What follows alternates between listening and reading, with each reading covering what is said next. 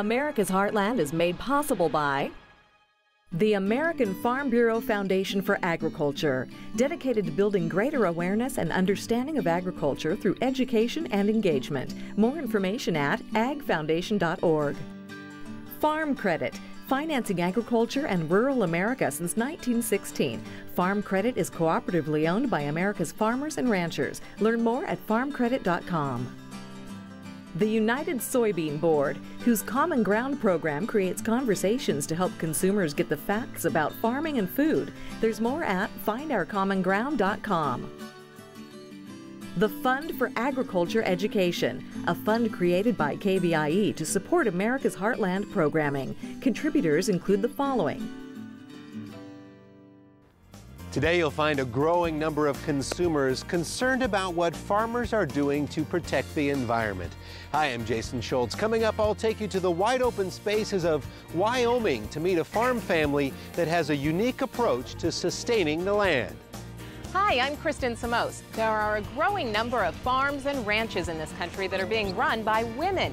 We'll take you to Alabama, where a lady named Annie Dee has a focus on farming, family, and conservation.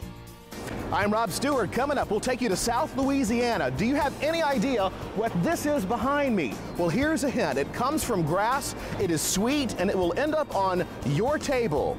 We're taking you on a trip back in time to explore agriculture's role in American history. Hi, I'm Sarah Gardner. That history comes alive in Virginia at the home of George Washington and Colonial Williamsburg. It's all coming up on America's Heartland.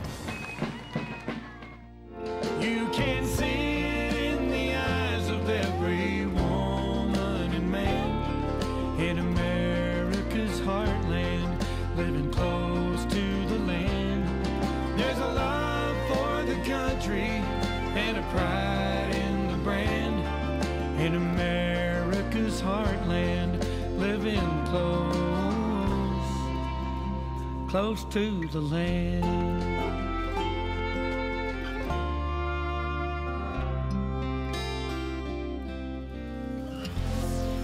Look at any survey these days and you'll find out that folks want to know about the environment and where their food comes from. For farmers and ranchers, that's meant more of an emphasis on the land that sustains their crops. And for one farm family in Wyoming, that attention has brought national recognition.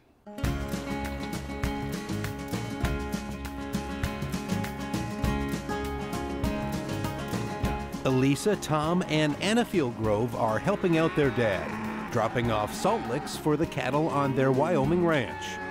Uh, but cows aren't the only animals in evidence here. If you listen closely, you'll hear the bleating of goats scattered across this Wyoming rangeland. And there they go, off to their weeds. Ryan Fieldgrove didn't start out to raise a herd of goats with his cattle. But that changed when he looked around to find an environmentally friendly solution to battle an invasive and out of control weed problem. The weeds were impacting the grassland feed for his cattle. We had a, a very bad leafy spurge weed infestation problem several years ago, and, and growing up, that's all I did was spray weeds. Because we're a dryland operation, we don't do any farming, and we buy all of our own hay. So that leaves us to take care of the cows, fix fence, and spray weeds. In his research, Ryan discovered that goats can be very effective at eating weed canopies. The goats, along with flea beetles to destroy the roots of the weeds, provide a natural herbicide solution.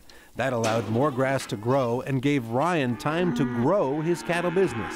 We had assistance from our local weed and pest to pay for herding and at certain times trucking and water because we did seven years of about 700 to 1,000 head at one time to really reduce the weeds. It's just been in the last three years that we now are able to scale back and, and run the 100 head year round to keep the weed in check. Half of these are pregnant and are going to kid in September Establishing the goat herd demanded an initial expense for the ranch. As the herd grew, however, Ryan was able to sell off surplus animals and use that income to pay for the feed and labor costs associated with the goats. So, with nature helping out the Fieldgrove family, they decided to return the favor. The area surrounding their 10,000 acre ranch is home to a variety of wildlife. Ryan installed barbless wire on the bottom rung of his fences, allowing animals to crawl underneath without being injured. This is potentially feathers from a sage grouse from flying into it. The Fieldgroves also participate in a conservation program designed to protect a bird known as the sage grouse. One task involves installing reflectors along the fence line. We mark our fences that are, that are in areas where sage grouse uh, like to stay so that when they're landing or taking off, they can see the fence and they don't fly into it. We're trying to reduce mortality. And then also our rotational grazing is, is designed and planned so that we are out of those areas that are called lek areas where their breeding grounds, their nesting, and their early brood rearing occurs. See starts to go down. The family's environmental efforts have not gone unnoticed.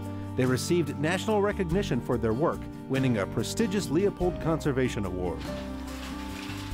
That achievement has reinforced the family's belief that improving the environment is an essential element in improving their ranch's productivity. We really enjoy being here. I think the emphasis is that it is very family oriented and it has taught our children good morals and a good way to start their life. I hope that someday maybe one of them will at least want to continue their lifestyle out here. At least one younger member has decided already. I called dibs on our house. so when I grow up, I really want to live here because I like just living on a ranch. As for their conservation efforts, Ryan says it's all about finding the balance between the environment and enterprise. You can have environmentally good practices that also are profitable for the ranching operation. And I think that that's what I feel good about is we've found a balance.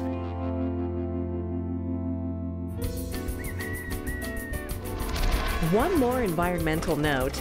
Agricultural land in the Cowboy State provides critical winter habitat for 75% of Wyoming's wildlife. And there's a lot of agricultural land, nearly 30 million acres. By the way, long before humans and livestock trod that soil, dinosaurs were common in Wyoming more than 100 million years ago. Working a ranch or farm these days demands an understanding of crop conditions, livestock prices, weather challenges, and just good management. It also demands a real commitment to farming practices that offer long-term benefits to consumers and conservation. For one Alabama woman, it's those challenges and opportunities that keep her excited about working the land.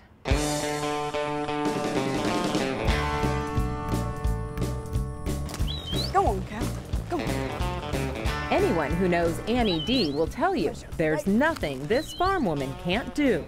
She's a go-getter and, you know, she'll outwork most men I know. Annie oversees operations at the Dee River Ranch. Spread across some 10,000 acres, the ranch sits near the Alabama-Mississippi border. The ranch is made up of a half dozen family members, including Annie's brother Mike and her sons Seth and Jesse. But there's no mistaking who's in the driver's seat here. She is. She is. She calls all the shots, and we just follow. Uh, well, she does it all. There's not one thing around here that she can't do. She really loves to run the combine. Her passion is riding horses and working cows, and she does that a lot. Coming back, well, you got one out there. Whoop! Annie began her farming career after graduating from college, working on her family's farm in Florida. In 1989, they sold that property and moved Dee River Ranch to its current home in Alabama. Well, here we have a cattle operation and a row crop operation, and this morning we were working cattle. We were separating the cows from the calves, weaning the herd. And this afternoon I'm going to be combining corn. Like other agricultural operations across the heartland, Annie will tell you that the days here are long, and you're never short of something that needs to be done. Working the land with horses and farm equipment, the family and ranch hands will tend a thousand head of cattle and rotate a half dozen crops. The ranch also focuses on keeping the land productive by making environmental improvements. It's what's feeding us, and it's It's what's going to feed future generations. And if we don't maintain this land that's growing our crops, it's, it's not going to be, they're not going to be able to raise crops in the future, and there's going to be a lot of hungry people. Annie and her family have placed some of their land in conservation reserve programs. They've replanted native trees and grasses, and in an effort to conserve water, establish reservoirs to collect winter rains for summer's dry months. We built a reservoir where I can catch wintertime runoff and I can pump out of a, a storm creek, store that water that, that uh, is everywhere in the wintertime, utilize it during the growing season. We had 36 days this year from the, middle, the first part of June to the middle of July. We didn't get a drop of rain. That's, that's when I'm trying to grow a crop. Hoping to educate the public about the work being done by farmers, Dee River has partnered with school districts and universities, bringing students out to the farm to talk about farming techniques, consumer issues, and agricultural technology. One of our keys is utilizing every acre to its best potential, and we've got to do that because, you know, our, our, our input costs are, are rising just drastically every year. So in order to combat that, I've got to produce more off every acre. And not just this year, I got to be thinking about 10 years down the road. That long-term view touches every aspect of this ranching operation, protecting the land, meeting consumer demands, and providing the opportunity to continue a family farming tradition. I hope that we can continue to do what we're doing. My kids hopefully will have the same shot at it that I have, and, uh, and hopefully their kids. We just have great faith and we just know year after year we're going to go do it again. When springtime comes, we plant those seeds and we go again. We just don't ever give up.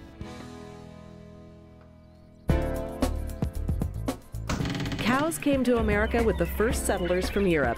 The bovine arrivals included those in Jamestown, Virginia in the early 1600s. And history books point to domesticated cattle as far back as 5,000 years ago. By the way, there are more than 900 different breeds of cattle in the world.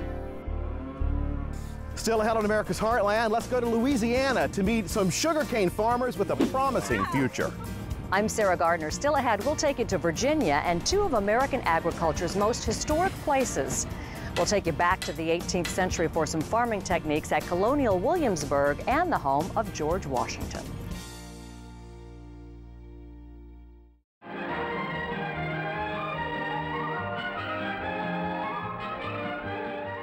Ever have one of those fruits or vegetables that you walk by in your grocery store and you're a little afraid of because maybe you've never eaten it or cooked it or maybe even heard of it? Well, for lots of folks, bok choy falls into that category, but maybe it's time for you to give bok choy a try.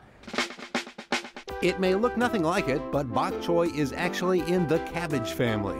It's crispy and sweet and traces its origins back several centuries to China but you'll find it in markets and stores all over the world now with several different varieties. In the U.S., it's grown commercially in California. You'll find it grown in other parts of the U.S. as well, especially areas with large Asian American populations. Bok choy is common in stews, noodle, and rice dishes. The best thing about bok choy, besides its flavor, is its versatility. Boil it, steam it, add it to stir fry, or just pan fry it with some olive oil and garlic for a great side dish. Need another reason to give bok choy a try? Well, it's nutritious. I mean, it is green, right? It's got lots of vitamin C, vitamin A, and calcium, and it's low in calories. So I think it's time for you to take bok choy off the shelf. I've never met a farmer that didn't work hard to take care of the land they love, and that is especially true for the family you're about to meet right now. Come with me to South Louisiana to meet the Blanchard family, sugarcane farmers planting roots for the future.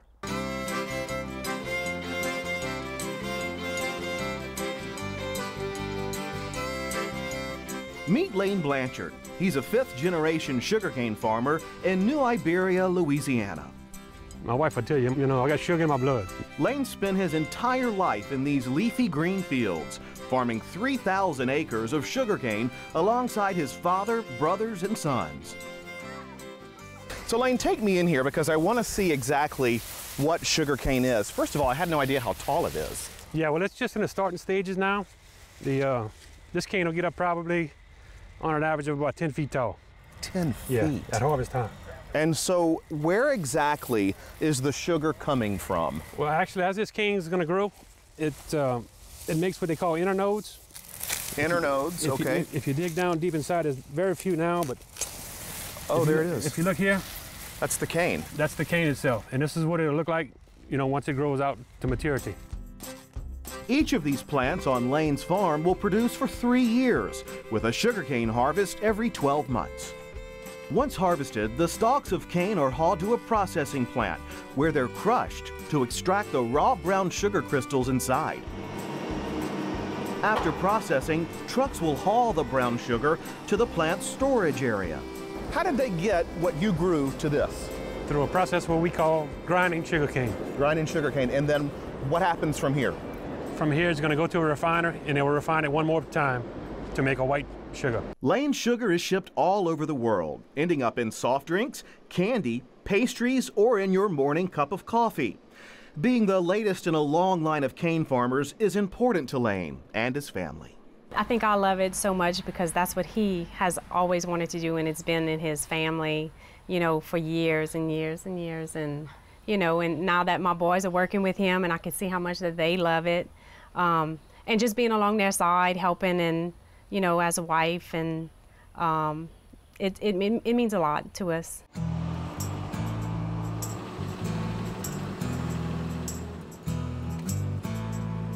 Number one, try to help pay for this weed control cost that a sugarcane farmer has. These days, improving the crop means improving the land on which the cane is grown. To do that, Lane is taking part in the Louisiana Master Farmers Program, a statewide project with environmental coursework and accreditation requirements that the farmers must meet. Lane is doing everything he can to improve his soil quality because he knows how important it is and it's for the future of the farm. It's not something that he's going to get an immediate return on, which um, is really powerful and it's great farm management technique. That's part of what, what we're trying to learn is how to preserve this soil for future generations. You know, people don't realize how important the soil is. You know, it's not just about going out there and working a crop. The soil is very important. We're taking every measure we can to preserve this soil for future generations. To be able to manage this soil like it would be part of me. The expansive tracts of sugarcane here are a far cry from the 90 acres first planted by Lane's father Harvey a half century ago. But the family's farming dream remains the same, watching the roots of this farm continue to grow in good times and bad. What farming's that way? You know, you gotta you gotta be there when it's bad to, to reap the good. I'm proud of him and the boys for all they've, you know, come through because it was uh, good times and bad, you know. Why is it so special to you, Lane? Well, it's all I've I've ever done. I mean, I grew up on a farm and it's all I ever wanted to do. Well, you're living your dream. Yep. and it's a sweet one, too. Yeah. exactly right.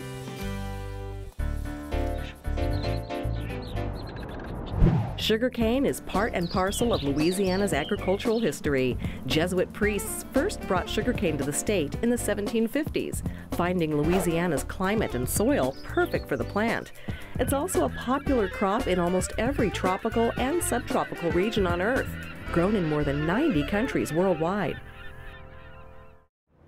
It's no surprise that the cost and choices of food that you buy at the supermarket are a direct result of American agriculture being the most productive in the world. And farming today owes a debt of gratitude to early American farmers. Where? We'll start in Virginia, where archaeologists are making new discoveries about George Washington, the farmer.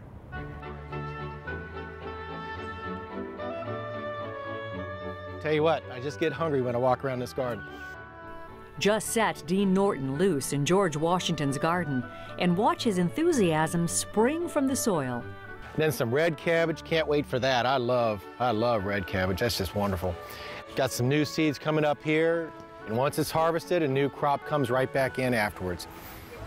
Dean is the director of horticulture at Mount Vernon, George Washington's home and plantation outside Alexandria, Virginia.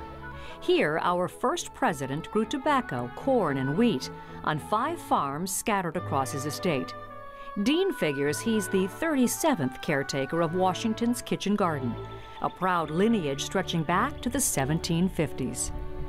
What you see here is not just reflective of Washington's time, but it's reflective of a person or a master of a plantation that did not have the space to just have a pure pleasure garden. He had to combine necessity with beauty.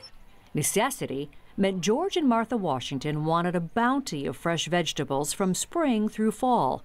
But letters from that era also suggest something else was needed. Washington, after the Revolutionary War, was, was honored, was admired, was worshiped, and he knew that he was going to have guests from all around the world visiting uh, on a weekly, daily basis. And so he needed to change his garden that reflected the man that he had become. And so he needed a flower garden. The gradual replacement of veggies with flowers continued into the 1980s. By then, almost the entire garden bloomed with beauty, but nothing to eat. Then archaeologists took a closer look at diaries and documents from Washington and his workers. The gardeners are spending much more time cultivating vegetables than they are flowers. So we know without a doubt that they were here. We used to have 2,000 square feet of vegetables. Now we're cultivating 10,000 square feet of vegetables, which is much more the sort of equation that Washington would have wanted. To go from something that was totally wrong historically to something that we think is so totally right is incredibly exciting. When you visit Mount Vernon or Thomas Jefferson's Monticello, you see the legacy of love for the land shared by these two founding fathers. Both believed agriculture to be the noblest of professions and crucial to the future of the Republic. They were also innovators, practicing crop rotation to preserve the soil, experimenting with new breeds of crops and farm animals and both believed the best farm tools were the ones you made yourself. Nicholas Kimball is an apprentice blacksmith at Mount Vernon, following the path of craftsmen dating back to 1755. By uh, taking a look at the crops that are being grown here, we can look uh, at historic precedents to the tools that would have been used in that industry. Some things that you would have found made here, this is a, uh, a style of hoe right here. We've also got a, uh, an axe right here. This is a manure rake. And you'll see it's a very uh, unique design. It's kind of like a cross between a pitchfork and a rake. But American innovation and invention date well before Washington's day. You'll also find it here at Colonial Williamsburg. Established in 1699, this one-time capital of the Virginia Commonwealth was preserved for the future by a fortunate quirk of history. Well, in, in a sense, uh, we can thank Thomas Jefferson for that, because when he moved the government of Virginia to Richmond in 1780, this town went to sleep pretty much for 150 years. Today, thousands of visitors watch reenactments of historic moments leading up to the American Revolution. Williamsburg has realistic examples of 18th century farm life, demonstrated by folks who actually live here and keep everything authentic. Milling lumber, raising livestock, tending to 80 acres of gardens. And uh, I can cultivate, which is getting the weeds out. And you have to win the war on weeds. Historic farmer Ed Schultz and his horse Lancer are turning the soil between rows of corn and tobacco. We call it a hoe plow, and I'm here to tell you I've used it many, many miles, and it works great. But the horse works great too. Visiting these historic places offers more than just a glimpse into the past. It returns us to the agricultural roots shared by many Americans. And perhaps we come away with a greater appreciation for this most essential industry. Jefferson said that 95% of Americans were farmers at his time. That's how important agriculture was. And the same things that were important then are important now. It makes you a more complete human being to know where your food comes from. And that's why I'm here, to help them see that. Again, it's just even more of an honor to know how special the land, agriculture, cultivation of the earth was to the founding fathers, because that's my profession, and, and I love it too. That's going to do it for this edition of America's Heartland. Thanks for traveling the country with us. We're always pleased to have you along as we introduce you to interesting people and places. And remember, you can stay in touch with us 24 7. We'll make it easy for you. You can find us on many of your favorite sites or just log on to americasheartland.org to see video and stories from all of our shows. We'll see you next time right here at America's Heartland. You can purchase a DVD or Blu ray copy of this program. Here's the cost. To order, just visit us online or call 888 814 3923. Can see it in the eyes of every woman and man in America's heartland, living close to the land. There's a love for the country and a pride in the brand in America's heartland, living close, close to the land. America's Heartland is made possible by the American Farm Bureau Foundation for Agriculture, dedicated to building greater awareness and understanding of agriculture through education and engagement. More information at agfoundation.org. Farm Credit, financing agriculture and rural America since 1916. Farm Credit is cooperatively owned by America's farmers and ranchers. Learn more at farmcredit.com. The United Soybean Board, whose Common Ground program creates conversations to help consumers get the facts about farming and food. There's more at findourcommonground.com. The Fund for Agriculture Education, a fund created by KVIE to support America's Heartland programming. Contributors include the following